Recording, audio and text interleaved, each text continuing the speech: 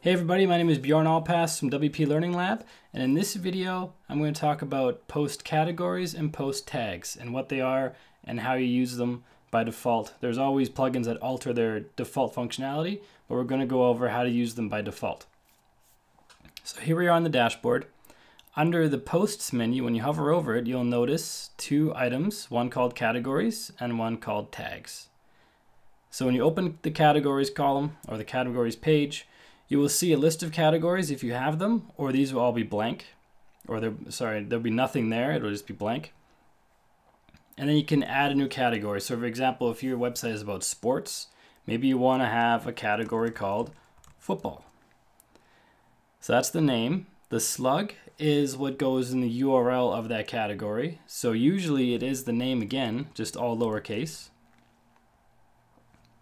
And then if that category has a parent, uh, meaning if there's a hierarchy, so maybe your website is about news and sports is just one section of your website, and football belongs in that one section. So you'd have sports be the, the parent category, and then you have all the, the, the child categories. There'd be football, hockey, basketball, NASCAR, and whatever else there is in sports. There's a lot more, as you know, but that um, it then creates a hierarchy which keeps your site more organized.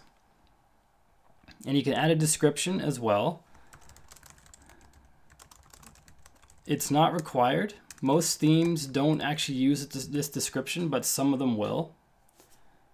And the only way it'd be used is say you're on the category page, there might be a little paragraph at the beginning that then pulls this information. So you don't need to have a description. Some themes use it, most don't. But when you're done filling that out, you can click on Add Category. And you'll see it just added the football category right here. Now another way to add categories is right inside of your post as you're writing. So I'll show you that right now. We go to Add New under Posts. And on the right hand side menu, you see there's a little categories box. And if you're writing and maybe you come up with a category that isn't in the list or that, that you hadn't thought of before, you can actually add it right here. Maybe that category is hockey. You can choose a parent again if you need to. Then you click on add category and it adds it. In this smaller category input, there's no option to create the slug or to add a description. You would then, when you want to do that, you'd then have to go back to the categories page. And you see it's, it's, it's in alphabetical order. And you see hockey's been added right here. And if we click on edit, then we can go in and we can change the slug if we want to. And we can add a description if we want to. And then click on update when we're done. Generally, posts are recommended to have only one category. You can add them in multiple categories, but the reason you want them in one category is because by default, the category slug, this hockey part, goes into the URL. And if you have the same page in multiple categories, it will go under multiple URLs, and that's bad for SEO.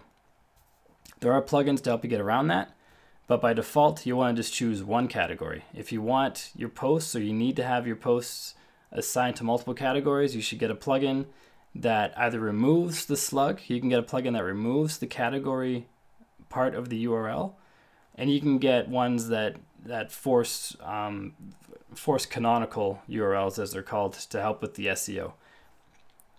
And tags are very similar. They're made the same way. You have the tag name, you have the tag slug, and the description. There's no parent there's no hierarchy in the tags. And tags are really a, supplementary way to organize your site.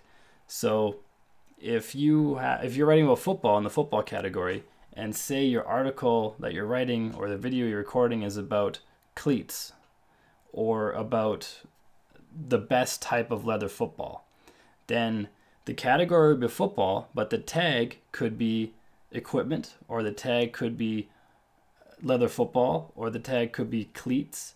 So it's more of a descriptive term of what that article is about specifically. And now it can get out of hand because you can have a zillion tags in one website. So you want to try to limit it to, to the specifics. So having a tag about equipment is great for sports because then any article that relates to equipment, people can click on that tag and they can see a listing of articles related to equipment or about cleats or about sports management, whatever whatever topics you discuss a lot and that may be pulled in from all different categories. Because you may have if you have a sports website going with that example still if you have a section about football and a section about hockey both of them have sports equipment. So you can set up your site so people can read about equipment from any sport and they can filter it down to equipment from a specific sport. And it can be uh, tag tags are a great way to help you organize your site but you have to think through which tags you want to use before you use them because they're really easy to add and I see a lot of websites that just have way too many tags. And again, the same thing as categories, there is the tag page under posts to add them. And you can click on, when you, well, when you add a new post, if you scroll down, on the right hand side you can add a tag. All you have to do is type it in, click on add, and then the tag is assigned to that article. And if you don't want that tag anymore, you just click the X and it's gone. So that's a quick crash course on categories and tags in the default WordPress environment. I hope this video helps you. My name is Bjorn Allpass from WP Learning Lab. Make sure to follow and subscribe and check out wplearninglab.com where we talk about WordPress daily. Talk to you soon.